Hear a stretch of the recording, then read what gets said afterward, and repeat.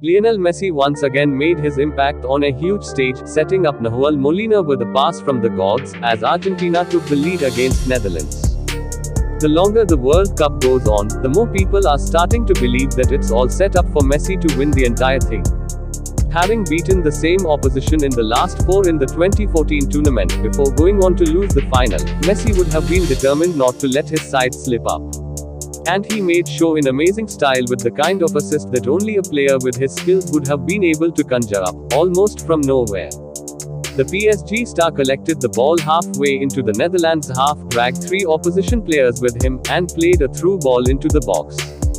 The ball beat three more opponents and found Molina, putting him one on one with Andries Noppert, before he prodded home.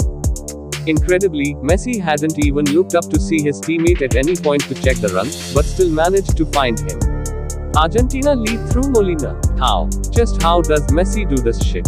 Mind-blowingly brilliant, Messi's number one cheerleader, Gary Lineker, asked on social media.